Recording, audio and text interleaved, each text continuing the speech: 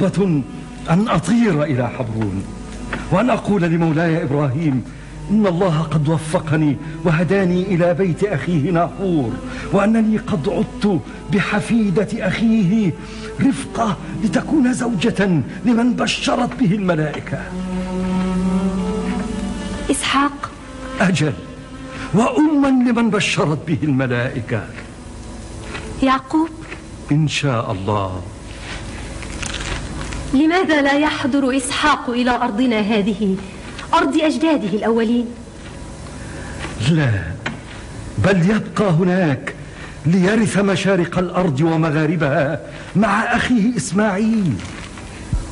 يرثان المال والكنوز والبيوت والأنعام والشجر والعبيد؟ لا. لقد أوصاني خليل الله إبراهيم أن أتصدق بكل ماله على الفقراء والمساكين. فالأنبياء لا تورث وكل ما يتركونه صدقة حتى لو تركوا القناطير المقنطرة من الذهب والفضة. إن كل هذا لما متاع الحياة الدنيا ظل زائل وعرض فان. ولكن إسماعيل وإسحاق يرثان الكتابة والنبوة والحكمة. يرثان النور الإلهي الذي يستأهل به الإنسان أن ينظر الله إليه ومن نظر الله إليه وجد كل شيء وربح كل شيء حتى الخلود في الجنة. لقد أطلت عليك يا بنيتي. هيا اذهبي إلى راحلتك.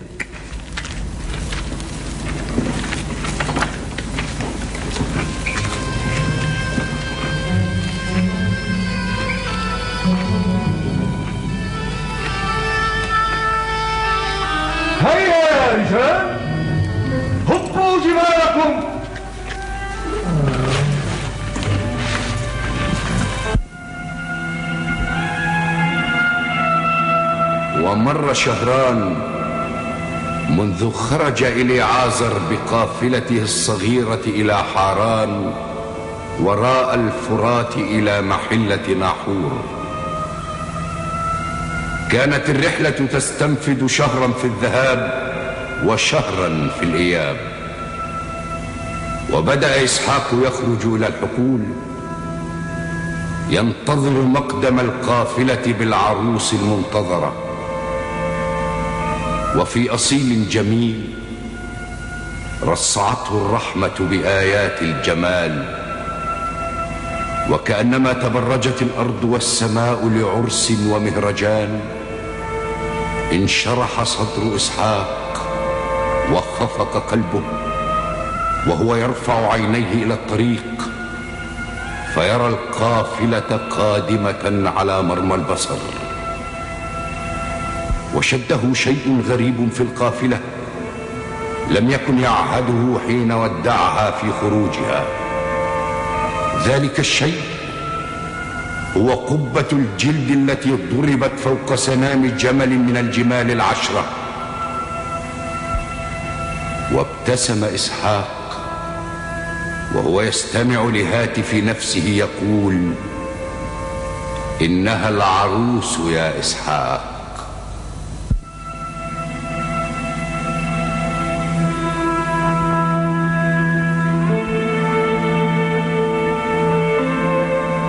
يا مرحى. من هذا الشاب المقبل للقائنا؟ إنه أبو يعقوب. ها؟ إنه إسحاق ابن مولاي إبراهيم. مولاي إسحاق. هذه هي عروسك.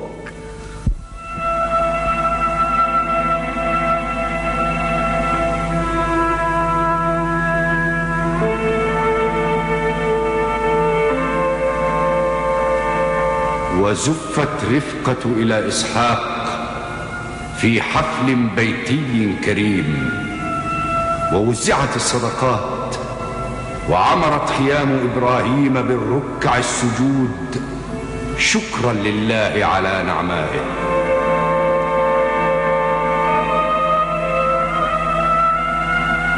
وقدم إسماعيل على خيام أبيه مهنئا بزفاف أخيه إسحاق. ومعه أمه وزوجه وطفلاه نابت وقيدار.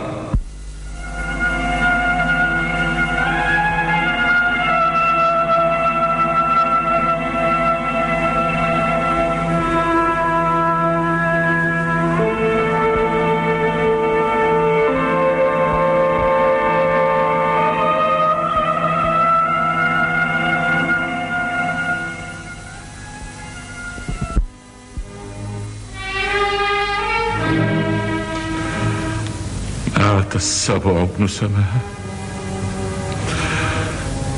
مات راضيا مرضيا. وصلى عليه خليل الله.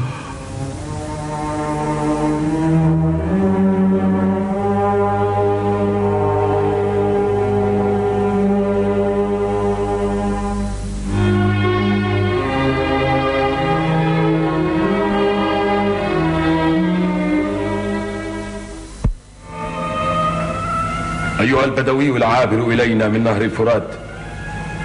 ها عبري جئت أسلم لك المدينة. فأنا حاكم دمشق نائبا عن فرعون مصر. سيد هذه المناطق. وما أدري كيف تفوقت بقافلتك المحدودة مهما كان عددها على حشود مدينة بأسرها.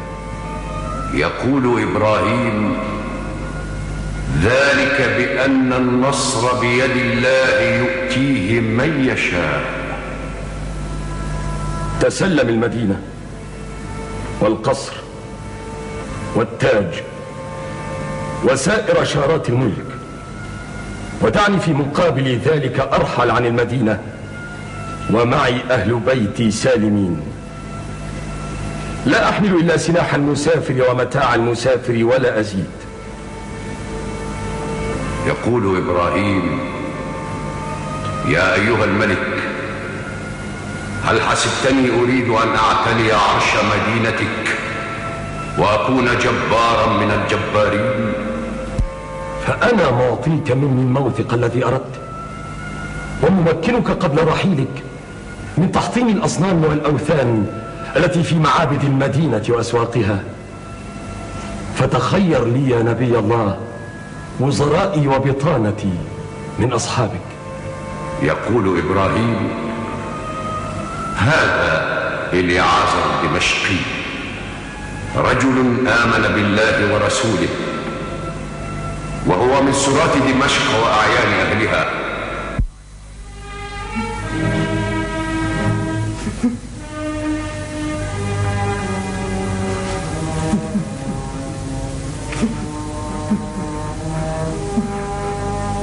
إليعازر تجلد ولا تهلك نفسك حزنا. رحم الله السبع ابن سماء. لقد كان عزيزا على قلوبنا. ولكن ولكن هذا هو مصير كل حي. يا رسول الله. قتل الكفر بقرنه في دمشق بعد أن تركتها. وأرسل فرعون رجالا ليكونوا عيونا عليه. وكأنه توجس من كتابي أن أكون قد تبعتك ودخلت في دينك. فاستخرت الله واشتريت آخرتي بدنياي وخلعت نفسي من الملك. وجئت إليك راغبا إلى ربي. وها أنا ذا أتبعك حيث تكون كأصغر عبد مسلم يتبعك.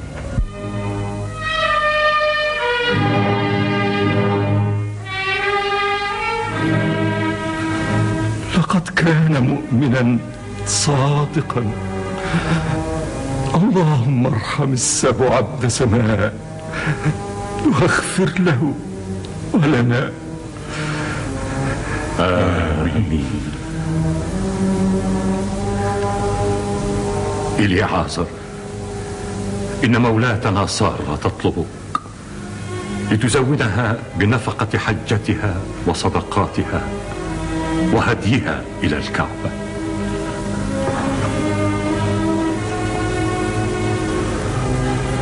أبى ذبيح الله إسماعيل وأمه هاجر أن يخدم سارة في رحلتها غيرهما حتى تعود إلى حبرون اللهم وفهما خير الجزاء عن هذا الوفاء. لبيك اللهم لبيك. لبيك اللهم لبيك. لبيك لا شريك لك لبيك. لبيك لا شريك لك لبيك. إن الحمد والنعمة لك والملك. إن الحمد والنعمة لك والملك. لا شريك لك. لا شريك لك.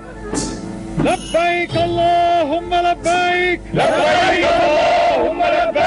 لبيك لا شريك لك لبيك. لبيك لا شريك لك لبيك. إن الحمد والنعمة لك والملك. إن الحمد والنعمة لك والملك. لا شريك لك. لا شريك لك. لبيك اللهم لبيك. لبيك اللهم لبيك. لبيك لا شريك لك لبيك. لبيك لا شريك لك لبيك. إن الحمد والنعمة لك والملك. إن الحمد والنعمة لك والملك. لا شريك لك. لا شريك لك. مرحبا بالقادم المحرم المعتمر.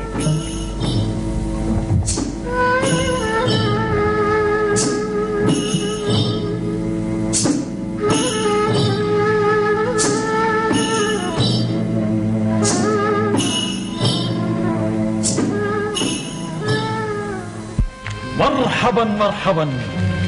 مرحبا بالقادم المحرم المعتمر. مرحبا مرحبا مرحبا أنا العيس بن إسحاق ابن خليل الرحمن إبراهيم. أنا توأم يعقوب. ولدت قبله وخرج ممسكا بعقبي. مرحبا بأخينا وابن عمنا. وأنا نابت أكبر أبناء إسماعيل ابن خليل الرحمن إبراهيم. وأنا قيدار الذي يلي نابتا من أبناء إسماعيل. وأنا الثالث بعدهما أدبوئيل أي الذي أدبه الله. وأنا الرابع مبسام وأنا مسماع. ما شاء الله تبارك الله. أي إخوة وأبناء عم؟ بقية أسباط عمك إسماعيل يدرجون في الدار. أصغرهم ابن عامين. وقد تكاملنا اثني عشر رجلا كما بشر الله هاجر مرحبا بالعيس بن إسحاق. إنك أشبه امرئ بأبينا إسماعيل. ويخيل إلي أنه كان على صورتك هذه في شبابه. جلدا أيدا متأبدا. لقد بلغتنا أخبار فروسيتك وحبك للتجوال في البرية. منذ طفولتي الباكرة تعلقت بعمي إسماعيل وأعجبت به. منذ رأيته يقدم على جواده إلى حبرون ليزور جدي إبراهيم. فكنت ألتزمه ولا أرخي عيني عنه. وكلما عرفت من سيرته طرفا تعلقت به. قيل أحب الصيد وهو بعد غلام صغير فخرجت مثله للصيد. قيل هو أمهر من رمى بقوس. فصرت بحمد الله أمهر أطرابي في الرماية. قيل هو أول من روض الجياد وساسها. فصار همي أن أحسن ركوب الخيل. لم يفتني من عمي إسماعيل إلا مهارته في الكتابة والقراءة.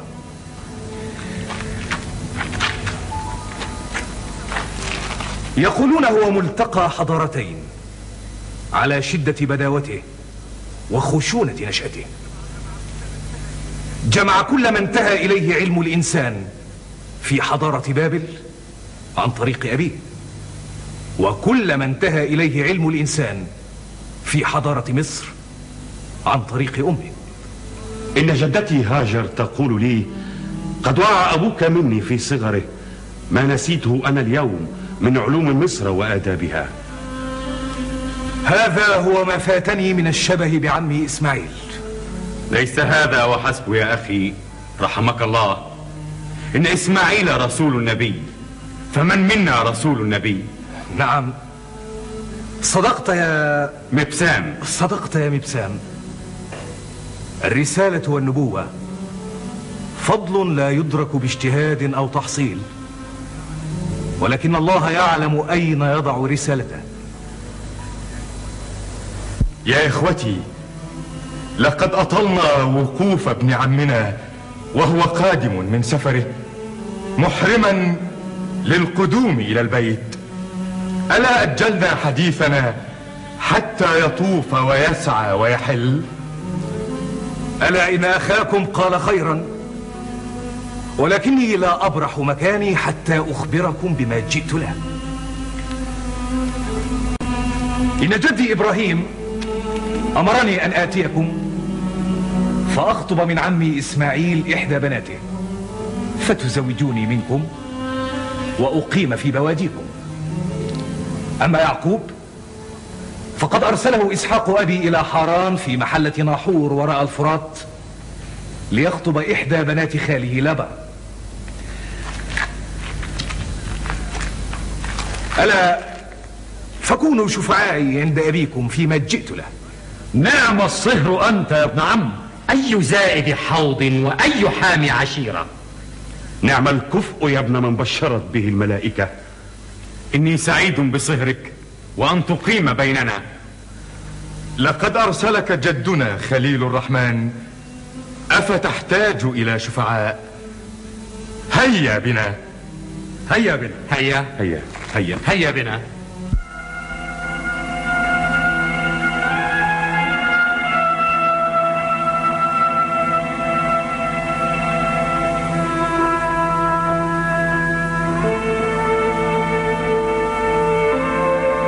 وكان خليل الله قائما يصلي. ولكنه شعر بأنفاس في محرابه تنشج وتبكي فقصر من صلاته والتفت إلى أصحابه. آجرك الله في سارة يا خليل الله. وارتجف صوت إبراهيم وهو يسأل ماتت سارة؟ إنا لله وإنا إليه راجعون.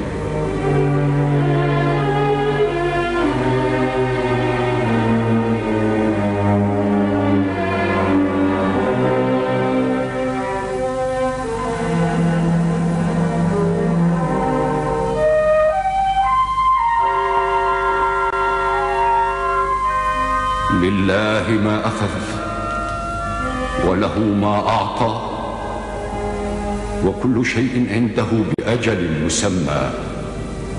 فلنصبر ولنحتسب.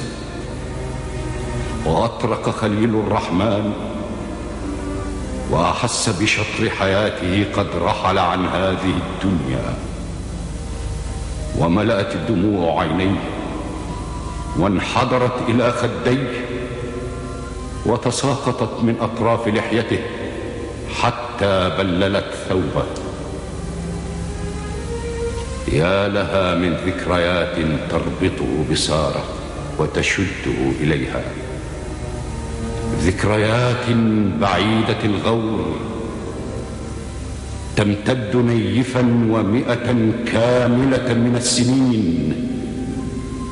ذكريات مليئة بالجهاد والإيمان والنور والبركة.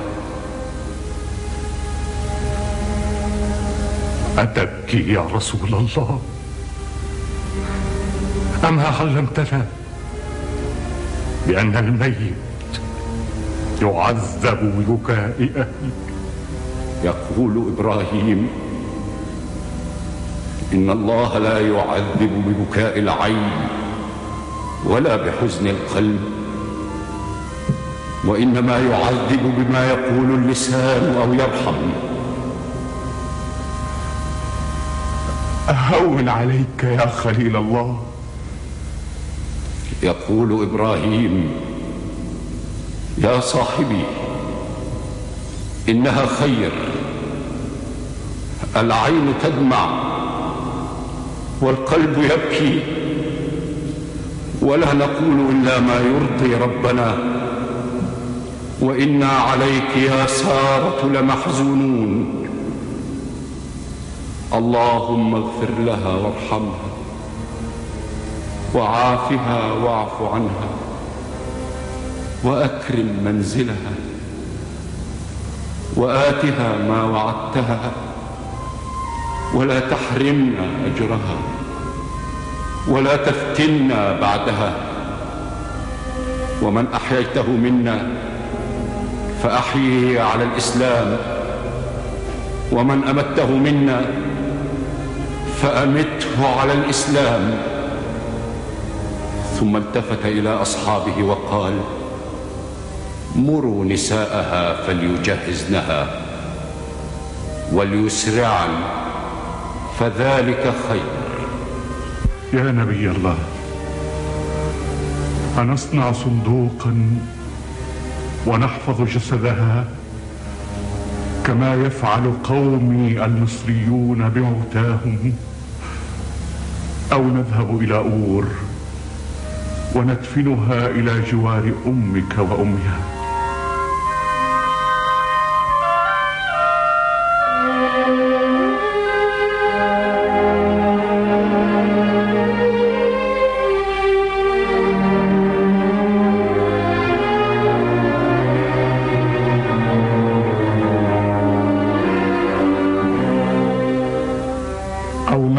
بها إلى حاران. عند أهلك وبني أبيك. يقول إبراهيم الأرض كلها لله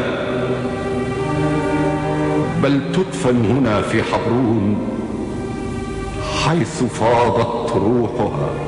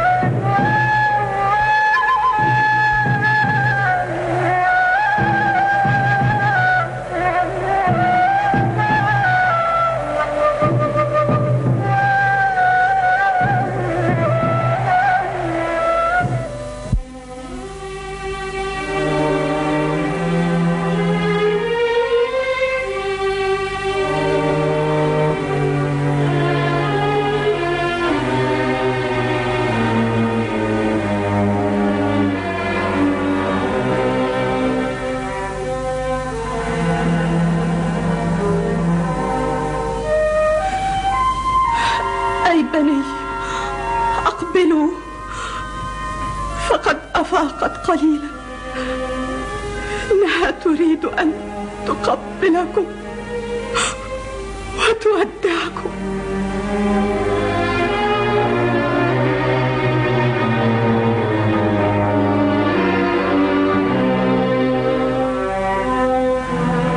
أماه هاجر.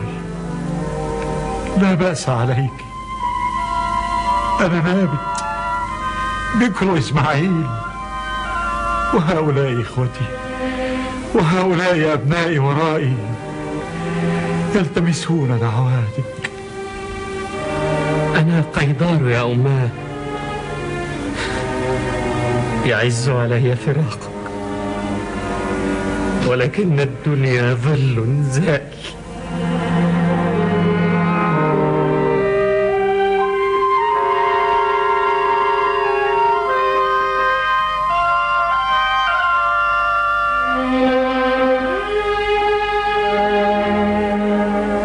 وأنا أدبوئيل أبشري وأحسن الظن بربك الرحيم الكريم. أرأيت كيف صدقك الوعد في الدنيا؟ فأحياك حتى رأيت من صلب إسماعيل اثني عشر رجلا. لوعد الآخرة أبر وأصدق.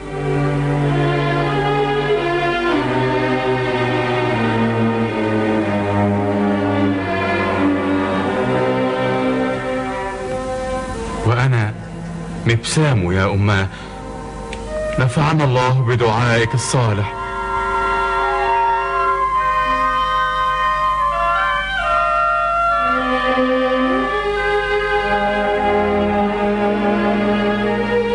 وأنا مسماع. خامس أحفادك. موعدنا الجنة إن شاء الله. وأنا دوما يا أم إسماعيل. وأنا حيدار. أنجبت بالأمس وليدة. أسميتها هاجر.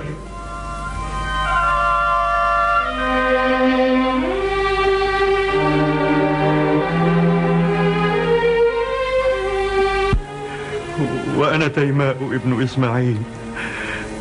أنا التاسع يا أماه بلغت مبلغ الرجال. وتزوجت امرأتين.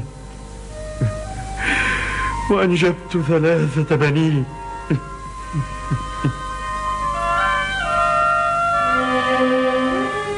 وأنا وطور حبيبك. لن أقطع دعائي لك ما حييت. وأرجو أن أكون عملا صالحا توصلين به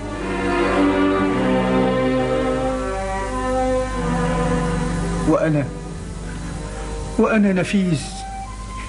يا أم ذبيح الله.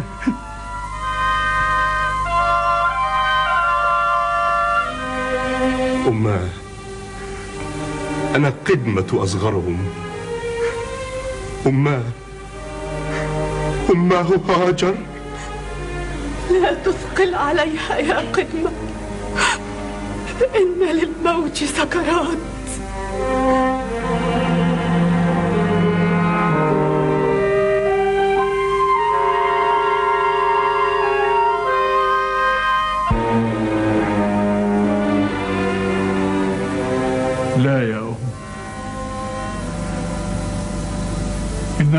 قبضت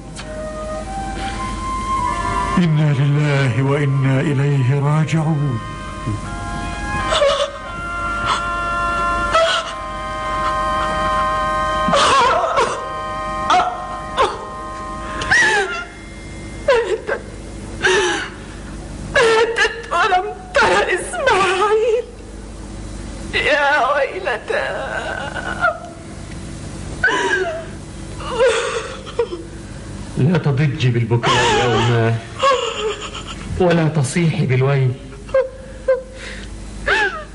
لقد نهينا عن ذلك.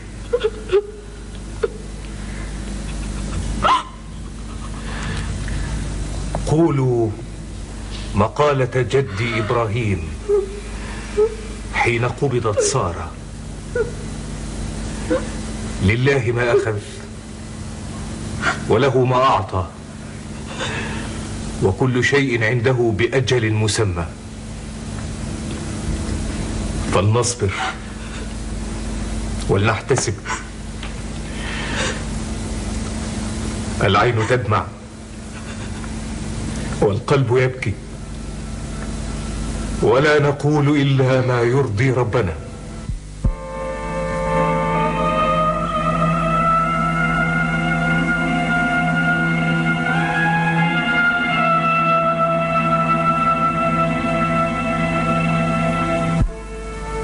ودخل إسماعيل ممتقعا فوجد أمه مسجاة فأخذت عيناه تذرفان ويقول لا إله إلا الله كلنا نموت والله وحده هو الحي الباقي. إنا لله وإنا إليه راجعون. تبكي عيني ويحزن قلبي ولا أقول إلا خيرا. طبت يا أماه حية وميتا. ثم التفت إلى زوج ابنته العيس بن إسحاق وقال له اذهب إلى حبرون فانع أمي إلى أبي.